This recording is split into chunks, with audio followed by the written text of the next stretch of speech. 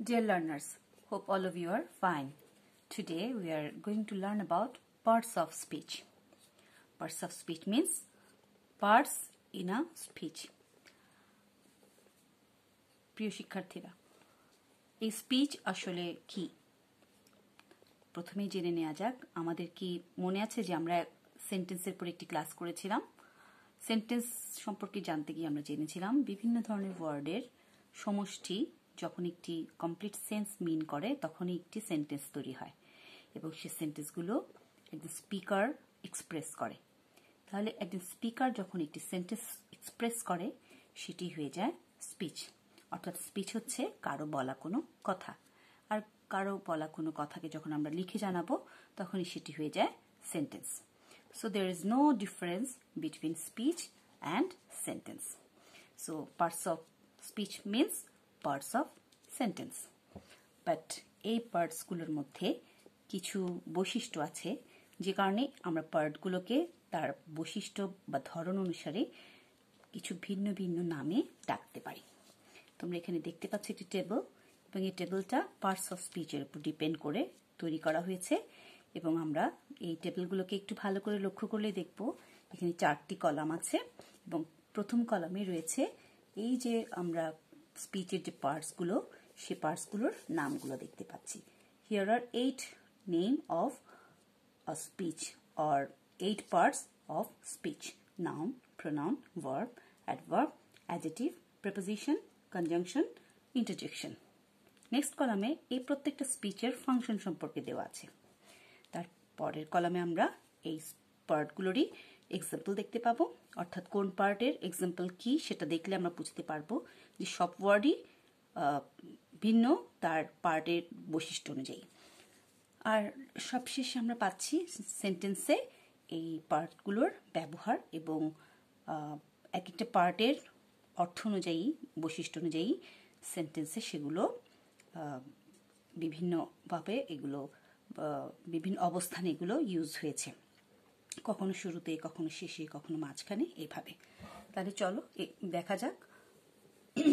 প্রথমে আসছে noun noun ব্যবহার হয় কোনো পার্সন অর থিং বোঝাতে গেলে। এবং এক্সাম্পল তাহলে দেখো পার্সন অর থিং বোঝাতে গেলে কোনো মানুষের নাম এছাড়া তুমি কোনো অ্যানিমেলের নামও হতে পারে, কোনো প্লেসের নামও হতে পারে, কোনো কান্ট্রির নাম ক্যাপিটালের নাম ভিলেজের নাম, এভাবে হতে পারে। আর এছাড়া এমনি কোনো অবজেক্টের নাম হতে পারে। যেমন বুক এছাড়া ট্রি ক্যাট ওয়ার্কশিট ইত্যাদি। এই বিভিন্ন ধরনের নাম বোঝাতেই মোট কথা আমরা নাউনকে ব্যবহার করি। সেন্টেন্সে নাউনের একটি ব্যবহার দেখা যাক। This is my book this is my book তাহলে এই বুক একটি নাউন এবং এখানে এটি বোঝানো হচ্ছে যে এটি আমার বই, অর্থাৎ নাম। একটা নাম, এটি আমার কি? আমার কি? একটা থিং বোঝাচ্ছে। দিস ইজ মাই থিংটা কি? বুক এবার প্রোনাউন সম্পর্কে জানা যাক। প্রোনাউন প্রোনাউনের কাজ হচ্ছে, এটি নাউন যখন ব্যবহার করব না নাউনের বদলে আমরা যে ওয়ার্ড ব্যবহার করব, সেটিকে বোঝাতে আমরা প্রোনাউনের প্রয়োজন বোধ করি। প্রোনাউন রিপ্লেসিস আ নাউন তাহলে কি কি প্রোনাউন ব্যবহার হয়? দেখো I you he she it এছাড়া আছে দে উই ইত্যাদি। তাহলে দেখো সেন্টেন্সে এখান থেকে একটি প্রোনাউন দিয়ে আমরা সেন্টেন্স মেক করতে মেক হতে দেখছি। হি ইজ ভেরি ক্লেভার এখানে হি প্রোনাউনটি প্রথমে ব্যবহার হয়েছে ক্যাপিটাল লেটার দিয়ে ব্যবহার হয়েছে এবং এখানে বোঝানো হচ্ছে যে কেউ একজন এবং সেটি ম্যাসকুলিন জেন্ডারের সে খুব ক্লেভার এটি বোঝাতে। এবং এখানে কোনো নাম ব্যবহার না হয়ে হি ওয়ার্ডটি ব্যবহার হয়েছে। এবং নামের বদলে ব্যবহার হয়েছে বলেই এটি হচ্ছে প্রোনাউন অর্থাৎ প্রোনাউনের কাজ কি? নাউনের বদলে সেটি ব্যবহার হচ্ছে। নেক্সট আসো ভার্ব ভার্ব কোন ধরনের পার্ট অফ স্পিচ যে ভার্বটা তোমরা সেন্টেন্সে ব্যবহার হতে দেখবে দেখবে যে সেটি দিয়ে কোন অ্যাকশন বোঝাচ্ছে অথবা স্টেট বোঝাচ্ছে, অর্থাৎ কোন অবস্থা বোঝাচ্ছে। তাহলে দেখো কি কি ওয়ার্ডগুলোকে আমরা ভার্ব হিসেবে পেয়ে থাকি? গেট কাম কাট ওপেন ইত্যাদি। এছাড়া আরও হাজারো রকমের ভার্ব আমরা আমাদের দৈনন্দিন জীবনে আমাদের প্রয়োগের কারণে, সঠিক প্রয়োগ, প্রয়োগের কারণে আমরা ব্যবহার করি। যেমন রান সুইম কাট ইত্যাদি। সেন্টেন্সে দেখো ভার্বের ব্যবহার কাম ইন প্লিজ এটি একটি ইম্পারেটিভ সেন্টেন্স এবং ইম্পারেটিভ সেন্টেন্সের স্ট্রাকচার অনুযায়ী আমরা জানি যে ভার্ব দিয়ে সেন্টেন্সটি শুরু হয় এবং এখানে এখানে আমরা পাচ্ছি যে কম একটি ভার্ব এবং সাধারণত সেন্টেন্সে দেখা যায় যে ভার্ব সেন্টেন্সের মাঝখানে থাকে সাবজেক্টের পর। কিন্তু এখন যেহেতু প্রথমে ব্যবহার হয়েছে, তাই কমের সিটা ক্যাপিটাল হিসেবে পাচ্ছি। তো পাশাপাশি তোমরা তাহলে সেন্টেন্সে বিভিন্ন পার্টস অফ স্পিচে ব্যবহারের পাশাপাশি একটু পাংচুয়েশন মার্কের এবং ক্যাপিটালাইজেশনের ব্যবহারের প্রয়োগটা তোমাদের দেখা হয়ে যাচ্ছে। আশা করি তোমরা সেগুলো লক্ষ্য রাখবে নিজেরাও লিখবার সময়। নেক্সট আসছে অ্যাডভার্ব অ্যাডভার্বের কাজ হচ্ছে এটি ভার্বকে এবং অ্যাডজেটিভকে অথবা অ্যাডভার্বকে ডিসক্রাইব করে। আর এটি যখন ভার্ব অ্যাডজেটিভ অ্যাডভার্বকে ডিসক্রাইব করবে, তখনই আমরা সেটিকে বলব অ্যাডভার্ব অ্যাডভার্ব কোনগুলো? সাইলেন্টলি ব্যাডলি রিয়েলি হ্যাপিলি ইত্যাদি ওয়ার্ড যেগুলো শেষে আমরা এল ওয়াই পাবো, সেরকম ওয়ার্ডগুলোকে আমরা অ্যাডভার্ব হিসেবে চিনব। অর্থাৎ এল ওয়াই যে সবসময় থাকবে কথা নেই, কিন্তু এল ওয়াই দিয়ে আমরা অ্যাডজেটিভ থেকে অ্যাডভার্ব করতে পারি। এটি লক্ষণীয়। সেন্টেন্সে দেখো অ্যাডভার্বের ব্যবহার কীভাবে হয়েছে? শি ক্যান রাইট কুইকলি এখানে বোঝানো হচ্ছে যে সে লিখতে পারে কীভাবে? কুইকলি অর্থাৎ তাড়াতাড়ি। তাহলে এখানে কুইকলি কাকে ডিসক্রাইব করছে? রাইটকে অর্থাৎ রাইট ওয়ার্ব এবং সে রাইটকে যখন ডিসক্রাইব করছে, তখন কীভাবে রাইট করে সে? কুইকলি রাইট করে। অত স্লোলি যদি হয় স্লোলি কিন্তু কথা হচ্ছে কীভাবে করে? সেটি বোঝানোর জন্য, কাজটিকে ডিসক্রাইব করানোর জন্য এই অ্যাডভার্বের প্রয়োগটা আমরা পাচ্ছি। এই কারণেই আমরা বুঝলাম যে অ্যাডভার্বের কাজ হচ্ছে ভার্বকে ডিসক্রাইব করা বা মডিফাই করা। নেক্সট হচ্ছে, দেখো অ্যাডজেটিভ অ্যাডজেটিভের কাজ হচ্ছে সে সবসময় ডিসক্রাইব করবে একটি নাউনকে অথবা নাউনের বদলে আমরা যখন প্রোনাউন ইউজ করি, সেই প্রোনাউনকে অর্থাৎ পার্টস অফ স্পিচেস সেন্টেন্সে যখন আমরা কোনো নাউন আর প্রোনাউনকে ডিসক্রাইব করতে দেখব কোনো ওয়ার্ড দিয়ে, সেটিকে আমরা বুঝে নিব অ্যাডজেটিভ অ্যাডজেটিভ কী কী হতে পারে? স্মল বিগ গুড ইত্যাদি। এছাড়া আমি যদি বলি স্মলার বিগার বেটার তাহলেও হবে। সেটি হচ্ছে আবার অ্যাডজেটিভের কম্পারেটিভ ফর্ম এছাড়া আরও বিভিন্ন অ্যাডজেটিভ আমরা সেন্টেন্সে ব্যবহার করে থাকি। এখন একটি সেন্টেন্সে আমরা দেখব কি অ্যাডজেটিভ আছে।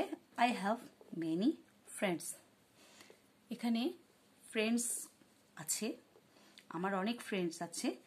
এখানে আমার ফ্রেন্ডস আছে বলতে গিয়ে কথাটিকে আরেকটু সুন্দরভাবে বোঝানোর জন্য আমি যখন বলব যে আই হ্যাভ মেনি ফ্রেন্ডস এই মেনিটাই হচ্ছে অ্যাডজেটিভস অর্থাৎ অনেক ফ্রেন্ড বোঝাতে।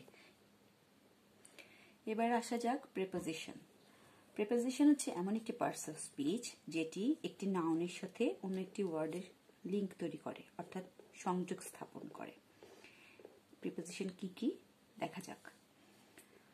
At in of on under এছাড়া ফ্রম ওভার আফটার ইত্যাদি ওয়ার্ডগুলোকে আমরা প্রেপোজিশন হিসেবে সেন্টেন্সে ব্যবহার করি। একটি সেন্টেন্সে আমরা প্রিপোজিশনের ব্যবহার দেখব এখন। She was hiding under the table অর্থাৎ সে লুকিয়েছিল টেবলের নিচে। এর নিচে এই অংশটা, এই ওয়ার্ডটা দিয়ে বোঝানো হচ্ছে যে সে কোথায় ছিল? টেবিলের নিচে ছিল। এবং এই নিচে এইটা দিয়ে যে পজিশনটা বোঝানো হচ্ছে সেই পজিশন বোঝানোর জন্যই আমরা তাহলে প্রিপোজিশনের ব্যবহারটা আমরা বুঝতে পারছি। কনজাংশন কনজাংশন হচ্ছে এমন একটি ওয়ার্ড যেটি দুটি ওয়ার্ডকে অথবা ক্লজকে অথবা সেন্টেন্সকে একই ধরনের এরকম বোঝানোর জন্য বা সংযোগ স্থাপনের জন্য ব্যবহৃত হয়ে থাকে। তবে অর্থগত কোনো বৈপরীত্য যদি থাকে, তখন কিন্তু বাটের ব্যবহারটা একই ধরনের সেন্স দুইটা ক্লজের মধ্যে থাকবে না বা সেন্টেন্সের মধ্যে থাকবে না বা ওয়ার্ডের মধ্যে থাকবে না। আর এছাড়া আরও যে প্রিপোজিশনগুলো আমরা পাই, সেগুলো হচ্ছে অ্যান্ড ওয়েন দ্যাট হু এভাবে আরও বিভিন্ন আমরা প্রেপোজিশন কনজাংশনকে আমরা সেন্টেন্সে পেয়ে থাকি। এখন দেখো সেন্টেন্সে কনজাংশন কীভাবে ব্যবহার হচ্ছে। I am hungry but the fridge is empty এখানে লক্ষ্য করো আই এম হাংরি এটা কিন্তু একটি সেন্টেন্স বাট এই কনজাংশনটাকে যদি আমি বাদ দিই দ্য ফ্রিজ ইজ এমটি এটি আরেকটি সেন্টেন্স তাহলে এখানে দুটি সেন্টেন্স জয়েন হয়েছে, একটু বিপরীত ধরনের অর্থ এখানে বোঝানো হচ্ছে, যে আমি হাংরি এবং ফ্রিজটা এমটি তাহলে এখানে কিন্তু তোমার শব্দের ব্যবহার বাট মাধ্যমে এখানে বোঝানো যাচ্ছে যে হাংরি হলেও তার জন্য আসলে খাবারটা রেডি নেই বা সে খেতে পারছে না। তাহলে সেজন্যই এখানে আমরা বাট ওয়ার্ডটা ব্যবহার হচ্ছে। কিন্তু আমি যদি বলতাম যে I am hungry and the food is ready or the meal is ready তাহলে কিন্তু এখানে বাট না হয়ে অ্যান্ড হতে পারত। তো আশা করি তোমরা বুঝতে পারছ কনজাংশনটা কীভাবে সেন্টেন্সে ব্যবহার হয়। দুটো সেন্টেন্সের মাঝখানে জয়েন হতে ব্যবহার হয়।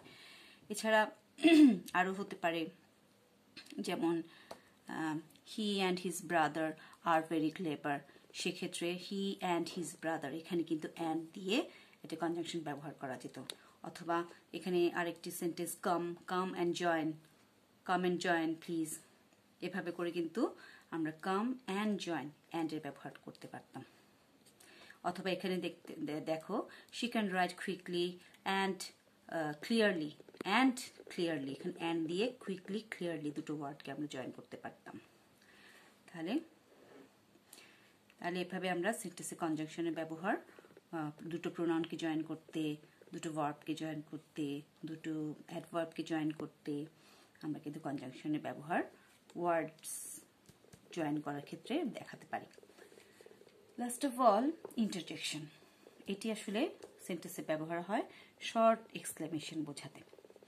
যেমন, ওহ, হাই, ওয়াও আউট ফাই ইত্যাদি ওয়ার্ড যেগুলোর শেষে এক্সক্লেমেশন মার্ক ইউজ করার মাধ্যমে আমরা ওয়ার্ডগুলো ব্যবহার করি, সেগুলো কি বলে? Interjection wow what a nice dress এখানে ওয়াওটি ওয়াও এই ওয়ার্ডটি ইন্ট্রোজেকশন এখানে হোয়াট নাইস ড্রেস এটা কিন্তু ইন্টারডিকশন না। তাহলে ইন্টারডিকশন কোনটা? ওয়াও শুধু এই ওয়ার্ডটি তাহলে দেখো ডিয়ার লার্নার্স এখানে আমরা one two three four five six seven eight eight parts of speech তাদের ফাংশনগুলো কি তাদের এক্সাম্পলগুলোর মাধ্যমে আমরা তাদেরকে চিনতে পারলাম, এবং সবশেষে সেন্টেন্সে তাদের ব্যবহারগুলো আমরা দেখতে পাচ্ছি। এবং দেখো আমি আন্ডারলাইন করে দিয়েছি কালার দিয়ে যেন তোমরা প্রত্যেকটা সেন্টেন্সে বিভিন্ন পার্টস অফ স্পিচের ব্যবহারগুলো দেখতে পারো।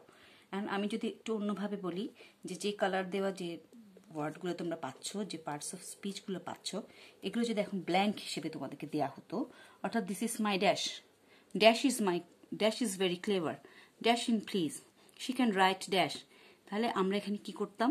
আমরা এখানে সঠিক ওয়ার্ড ব্যবহার করে ব্ল্যাঙ্কগুলোকে ফিল আপ করতাম। অর্থাৎ দিস ইজ মাই বুক এখানে বুক ওয়ার্ডটা মিলতো। এখানে আমি এখন যদি বলি যে দিস ইজ মাই হি হবে না। দিস ইজ মাই কাম হবে না। দিস ইজ মাই কুইকলি হবে না। কারণ এখানে একটা নাউনি দরকার। তো এইভাবে আমরা আসলে একটি সেন্টেন্সে কোন পার্টস অফ স্পিচ প্রযোজ্য বা কেন কোন পার্টস অফ স্পিচ বসাতে হয়, সেজন্য আমরা প্রত্যেকটা পার্টস অফ স্পিচের ফাংশনগুলো আগে জানব। ফাংশন জানলেই তখন আমরা সে ব্ল্যাঙ্কে আমরা সঠিক পার্টস অফ স্পিচ অ্যাপ্রোপ্রিয়েটভাবে বসাতে পারব। এখানে আরেকটি কথা বলে রাখা দরকার। এই পার্টস অফ স্পিচ সম্পর্কে আমরা যদি জানতে পারি, তাহলে আমরা এক্সামে আমাদের একটি অ্যাক্টিভিটি করতে হবে। সেটি হচ্ছে use suitable word or write suitable word in the blank এটা দিয়ে তোমাদের এক্সামে পাঁচ মার্কসের একটি অ্যাক্টিভিটি থাকে। তো তোমরা যদি এই প্রত্যেকটা পার্টস অফ স্পিচের ফাংশনগুলো জানো, তখনই তোমরা সেই ব্ল্যাঙ্কগুলোতে কারেক্টলি অ্যাপ্রোপ্রিয়েট ওয়ার্ড তোমরা ইউজ করতে পারবে। তো আমি আশা করব যে আজকে আমাদের পড়াটা তোমাদের জন্য অনেক হেল্পফুল হবে। আর তোমরা তোমাদের এক্সারসাইজ বুক থেকে বিভিন্ন এক্সারসাইজগুলোর মধ্যে পার্স অফ স্পিচের ব্যবহারগুলো অনেক বেশি বেশি প্র্যাকটিস করবে এবং নির্ভুলভাবে অ্যাপ্লাই করতে শিখবে। সো আজ এই পর্যন্ত সবাইকে অনেক ধন্যবাদ।